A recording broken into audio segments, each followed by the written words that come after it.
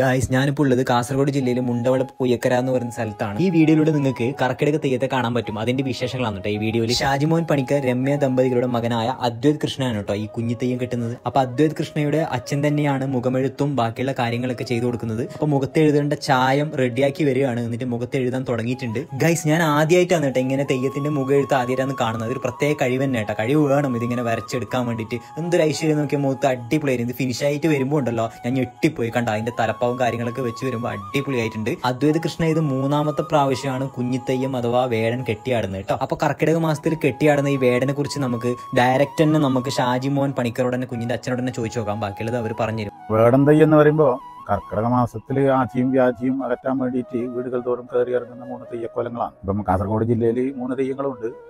കണ്ണൂർ ജില്ലയിൽ രണ്ട് തെയ്യങ്ങളുള്ള സ്ഥലമുണ്ട്. ഒരു തെയ്യം മാത്രമുള്ള സ്ഥലമുണ്ട്. വേടൻ മാത്രം. ഈ ആടിയും വേടനും ഗളിഞ്ചനും മൂന്ന് തെയ്യങ്ങളും വരുന്നത് കാസർഗോഡ് ജില്ല മാത്രമാണ്. അപ്പോൾ മടിയൻകൂലോത്ത് മടിയൻകോവിലകം ഈ സംക്രമത്തിന്റെ ദിവസം മൂന്ന് തെയ്യങ്ങളും ഒരുമിച്ചാണ് മടിയൻകൂലോത്ത് ആടുന്നത്. മൂന്ന് തെയ്യങ്ങളും ഒരുമിച്ച് മൂന്ന് സമുദായക്കാർ മൂന്ന് തെയ്യങ്ങളും ഒരുമിച്ച് ആടിയിട്ട് ആ സമീപ പ്രദേശങ്ങളിലുള്ള വീടുകളിലൊക്കെയും ഒറ്റ- ഒന്നിച്ച് മൂന്ന് തെയ്യങ്ങളും പോകും ബാക്കി കർമ്മങ്ങളെല്ലാം ചെയ്ത് കുരിശി ഒഴിഞ്ഞു തർപ്പണം കുരിശി ഒഴിഞ്ഞ് കാര്യങ്ങളെല്ലാം ചെയ്യുന്ന ഒരു അനുഷ്ഠാന കർമ്മമാണിത്.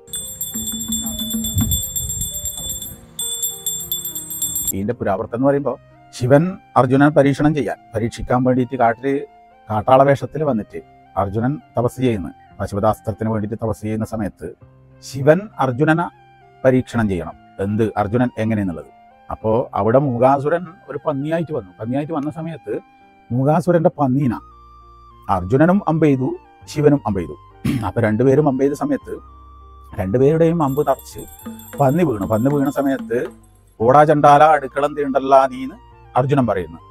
അന്ന് വാഗ്വാദങ്ങളായി അടിച്ചു കിരാതനും പിടിച്ചു ഫൽഗുനനും അപ്പോൾ. കിരാതൻ ശിവൻ അടിച്ചു ഫൽഗുനൻ പിടിച്ചു.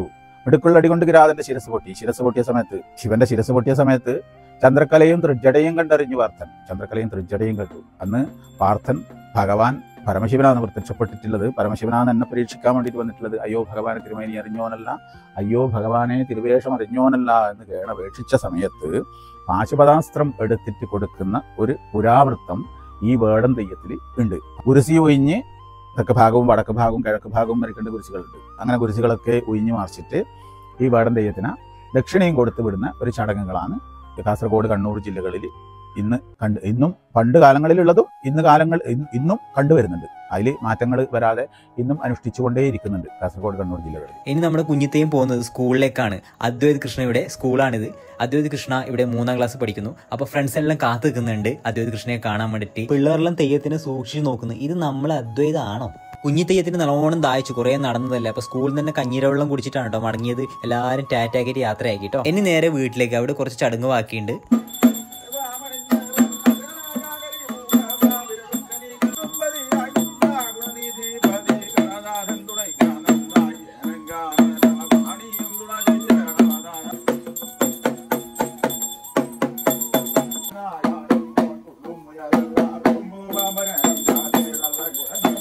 അയ്യോ ഭഗവാനെ തിരുവേണി അറിഞ്ഞോനല്ല അയ്യോ ഭഗവാനെ തിരുവേഷം അറിഞ്ഞോനല്ല അപ്പൊ അദ്വൈതിന്റെ കുഞ്ഞിത്തെയ്യം അഥവാ വേടൻ തെയ്യക്കോലം അഴിച്ചു വെക്കാൻ സമയമായിട്ടുണ്ട് തെയ്യക്കോലം അഴിച്ചു വെക്കുന്നതിന് ഒരു വ്യത്യസ്തമായ ഒരു ചടങ്ങുണ്ട്. അതെങ്ങനെയാണെന്ന് നമുക്ക് അറിഞ്ഞു വന്നാലോ? വെറ്റില നറക്കലകൾ എല്ലാം വെച്ച് അരിയും പൂവും ഇട്ട് തോതിട്ട് കൈലാസം ശ്രീ കൈലാസത്തിങ്കലേക്ക് വേടരാജാവിനെ കയറ്റുന്ന ഒരു ചടങ്ങുണ്ട്. വേടം കെട്ടിയ കുഞ്ഞിനെയും വേടം പാടാൻ വേണ്ടിയിട്ട് പോയ ആൾ കൂടിയിട്ട് ശ്രീകൈലാസത്തിലേക്ക് കയറ്റുന്ന ഒരു ചടങ്ങുണ്ട്. ആ ചടങ്ങും കൂടി ചെയ്യണം ശരിക്കും. പക്ഷെ അത് എല്ലാവരും ചെയ്യുന്നുണ്ടോ എന്നുള്ളത് ഇപ്പം അനക്കറിയില്ല. അത് ചെയ്യണം. അങ്ങനൊരു കർമ്മം കൂടിയുണ്ട്.